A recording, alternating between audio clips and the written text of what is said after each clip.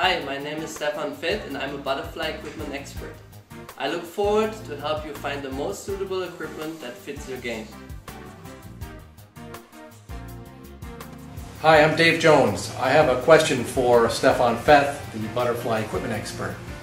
I play a topspin game with uh, close to the table, shorter stroke on my backhand, and I play a little bit off the table with a longer stroke for my forehand.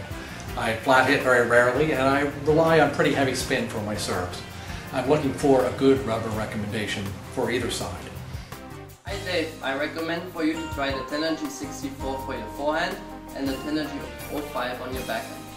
The softer feel of the Tenergy 64 would support your mid-distance game as it's easier to generate spin with, as it provides a higher ball trajectory.